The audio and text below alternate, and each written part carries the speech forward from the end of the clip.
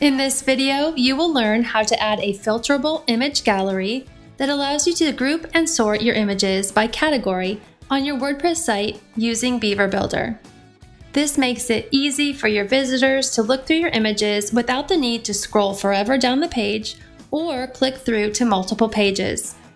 In our last video, I showed you how to add a photo album that opened in a Lightbox. In case you missed it, I will leave a link in the description below as well as in the card above.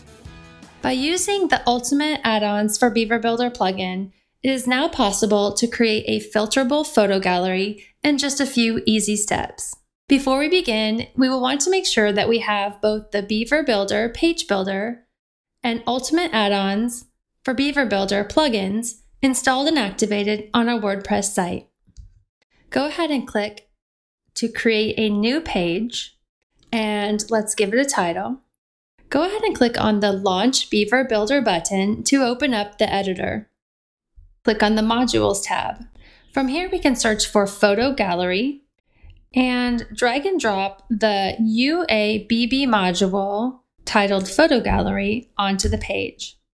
In the pop-up from the General tab, go ahead and click on Add Photos. Here you can either choose the photos from your media library or click to upload files. The next step is to assign each image to a category. So we'll click on the image and then on the right hand side under the attachment details for that image, I'm going to scroll down and where it says UABB categories, I'm going to assign this image to a category. If you want to assign it to multiple categories, you can do so by placing a comma between your categories.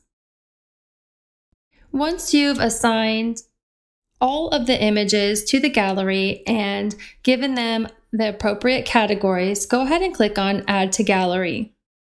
Next, click on Update Gallery in order to make our photo gallery filterable, we need to scroll down under the General tab to the Filterable Photo Gallery and set this to Enable.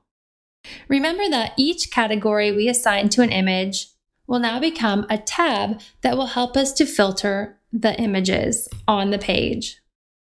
To keep watching, go ahead and click on the next video. And of course, if you got any value out of this video, be sure to hit the like button and click to subscribe to this channel so you don't miss out on our upcoming videos. And we'll see you in the next video. Bye for now.